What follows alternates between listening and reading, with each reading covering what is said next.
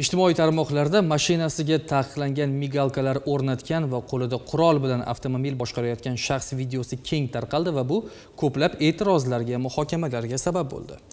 Yana bir holatda esa harakatlanayotgan spark mashinasi ustiga inson yotib olgani aks etgan.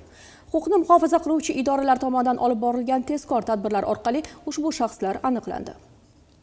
Mazkur videoda Nexia 3 avtomashinasiga taqiqlangan miltillovchi mayoqchalar o'rnatilgani va oldidagi yo'lovchining qo'lida qurol borligi aks etgan. Olib borilgan surishtiruv ishlari davomida mazkur videoni tasvirga olib, o'z sahifasiga joylagan haydovchi topildi.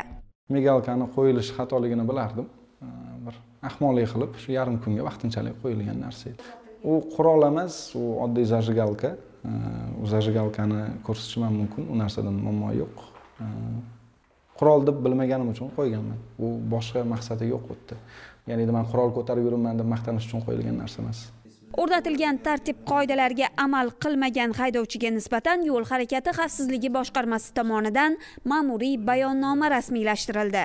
ushbu haydovchiga nisbatan ma'muriy bayonnoma rasmiylashtirildi va hozirgi kunda ma'muriy javobgarlik kodeksining bir yuz yigirma yettinchi moddasi bo'yicha avtoulov vaqtinchalik jarima maydoniga qo'yildi Instagram foydalanuvchilaridan yana biri o'z sahifasiga joylagan mana bu suratda esa svetoforning qizil chirog'ida to'xtab turgan davlat raqami 01L972 GB Oxspark avtomashinasining ustida odam yotib olgani aks etgan. Mazkur surat yuzasidan olib borilgan surishtiruv natijasida haydovchi va uning o'rtog'i bu holatni TikTok ijtimoiy tarmog'i uchun olingan videorolik edi deya izohlashdi. Не думал, что за это будет будет какая-то э, ответственность. Я бы хотел за это э, извиниться и сказать, что такого не повторится больше. Bugun ijtimoiy tarmoqlarda ko'plab obunachilarni yig'ish yoki bo'lmasa katta auditoriyani o'ziga jalb qilishga mukkasidan ketayotgan ayrim yoshlar o'ylashmayaptiki, har bir nomaqbul xatti-harakat uchun